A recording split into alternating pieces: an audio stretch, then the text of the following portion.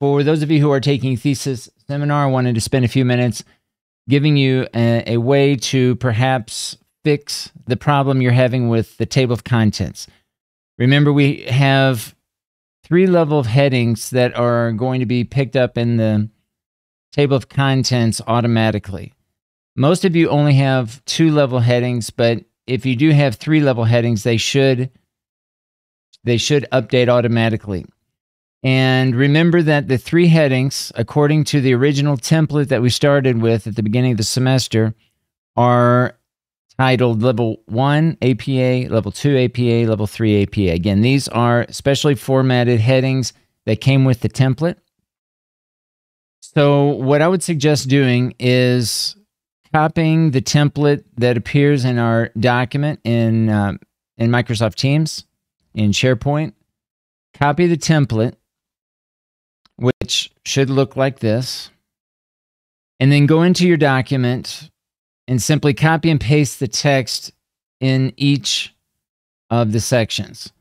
So where you have these headings here, I would not replace these headings. I would manually type in again the title of your paper here and each of the sections that you have. Obviously, if you have four sections, you can copy and paste this heading to create a fourth heading, which is what I would do. So it also copies the font style. But within each of the sections, I would copy and paste your text, making sure that you're being consistent with the font styles using one of the acceptable fonts for according to APA 7th edition.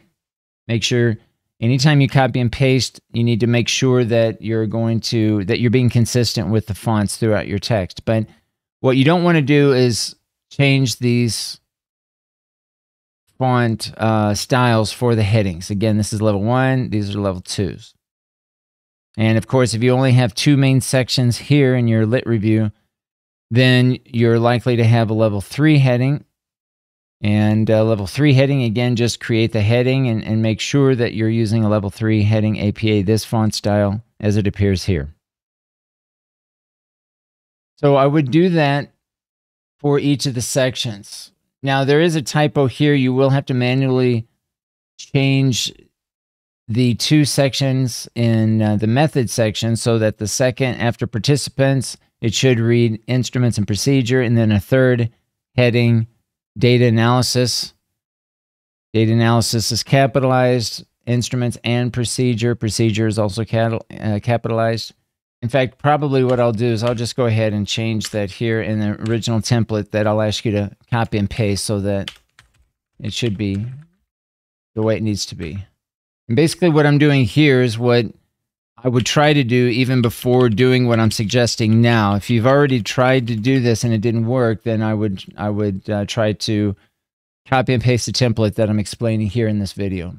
But again, I'm just going to make sure that I've got a level 2 heading here for for each.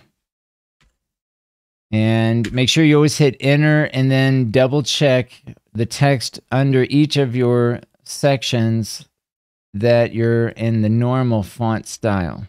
Otherwise, you're going to get a lot of text in your table of contents. So again, hit enter, normal, enter, normal, and just delete this. This is a, you can always tell when there is a a heading because you have this down arrow because this allows you to collapse and expand the text within each of the sections here, right? So if you have text here, you can you can collapse and expand that. But this is what we want. So we have a level one. Again, the same idea in the results and discussion. Try to keep these headings and just replace it with your own headings and then copy and paste the text that you created in your original document into this new template. And same way with the references, copy and paste them over. But again, double check all of the font styles to make sure that you're being consistent with the font styles throughout your paper. Do the same for the for the appendix uh, section or the when you have all your appendices down at the bottom, then make sure that you have a page break so that the level one heading for the appendix appears at the very top of the page, and then you have a level two heading, again, according to these uh, font styles, so that all of your appendices ends up in the table of contents.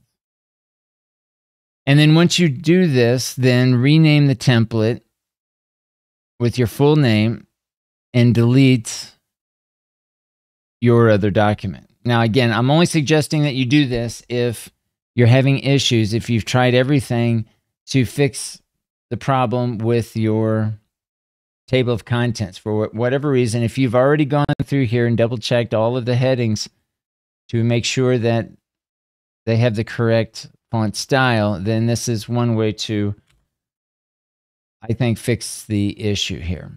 So try this. Um, if you're comfortable with doing this, uh, try it and see if that if that helps.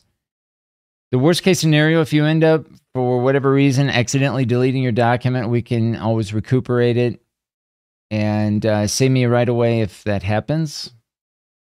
Uh, it does go into trash usually, so we can.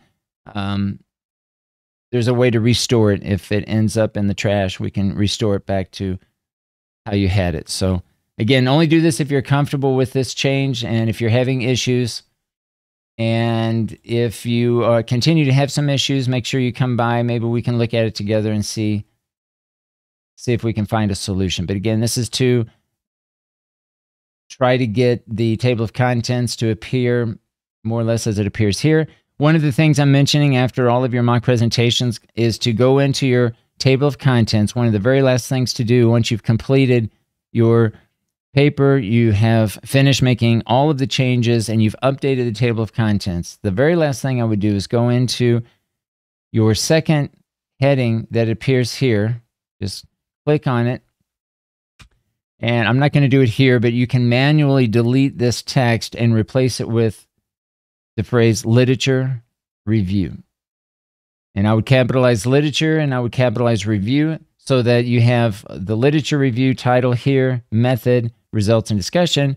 But the actual paper, you'll have your title here, not literature review.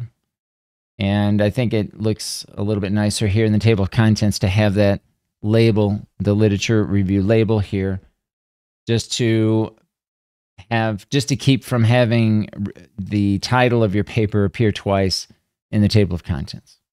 So hopefully this will help uh, fix uh, the problem with updating your table of contents.